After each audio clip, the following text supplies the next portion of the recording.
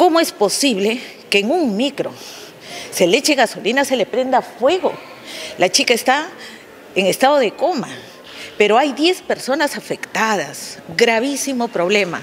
Un llamado a que la educación se recupere desde ese sentido humano.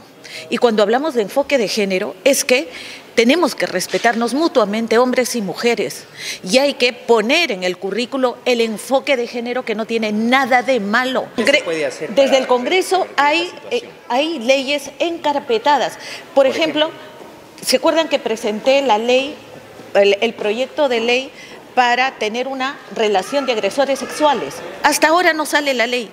Más de dos años. cultura machista, cultura machista.